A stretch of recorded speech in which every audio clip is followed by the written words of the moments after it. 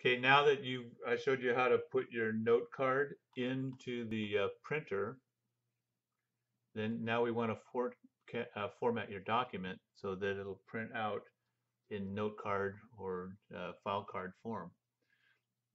So up at the top you've got your tabs, File, Home, Insert, Page Layout. So click on Page Layout right up there. First thing you want to do is pick size, and so pick the size of the card that you chose. If it was four and a half, four by six, you'd pick that. If it's three by five, you would pick that. I went with four by six. Then orientation, and it depends on which version you're using, how these will appear on your screen, but it's the same things. So orientation, you want to pick landscape. Okay, so now you're going to want to you're going to want to see there's a lot of margin on the sides that uh, defaults to one inch. You don't want that much. So you're going to go all the way down to custom margins. Pick point two on the top, point two on the left. On the bottom, pick point one two. And that's the minimum margin you can have on the bottom and that's because we want to have a page number down there so we want that one to come down lower. And then on the right pick point two. Click OK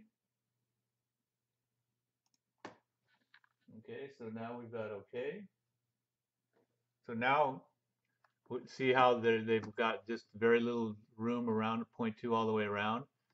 But you're going to want a page number on these in case you drop these. You're not going to want to figure out where they go. You can either put a page number in handwriting at the bottom around here if you want, which will give you more room on the card, or the other option is go up to insert, hit insert, go find where it says insert, it says page number, click on that, go down to where it says bottom of the page, go over here, and let's put it a plain number two, which is in the center.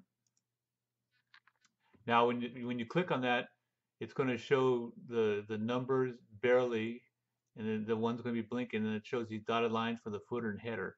Put your cursor in the center and double click on the center, and it gets rid of those. Okay, so now you can see it's taken a lot of room from the bottom because it puts a margin for the header for the footer down there. And so, like I said, you can either write it down at the bottom and then you get rid of this page number taking up so much room or you can just put the page numbers in it'll print out the page numbers when you do it. Either way it doesn't matter to me. You just lose a lot of space when you put the page number you're going to want the page numbers on there one way or the other. So I'll back up and show you what it looked like before we did that uh, I don't know why it went all the way back there like that but so we'll go back to the page layout and the margins and the custom margin, yeah, I, I clicked back too many. So if you're not going to put, if you're going to manually put the page numbers down there, then just go to point two on everything. And click OK. And that's how it'll look. So you know now how to put them on if you, you're going to put the automatic page numbers on, or if you're going to handwrite them on, but you're definitely going to want them on in case you drop your card. Okay, so now you know how to install you got to buy the file cards at the the uh, bookstore.